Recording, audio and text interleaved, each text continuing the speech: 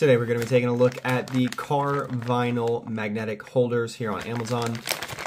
We'll go ahead and take them out of the package here. There is four of them. This comes in the set of four. If we go ahead and unmagnetize these, they definitely have a nice grip coming out of the box. Nice and tacky. So it does come in a set of four here. Again, these are just magnetic holders that you're going to use to hold the vinyl up when you're doing your car. Now, a lot of these do come in different shapes and sizes. You can see this one's got a nice curve that gets a little bit bigger at the top. These do unscrew as well, so you can always just take these off for whatever reason you might want to do that. I'm not sure exactly what you want to. Maybe you just need that space to hold it into a certain edge, but you do have the option to take these handles off.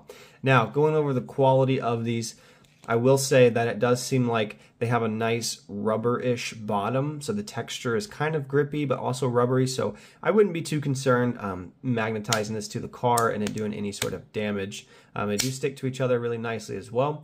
If you take a look here and you get the lighting just right, you can actually see what's powering this magnet here is those. It looks like one, two, three, four, five, six little magnets in there um, that is doing this. Again, this does come in a pack of four. When it comes to car wrapping, you're definitely, definitely going to want a pair of these. So I definitely recommend getting these.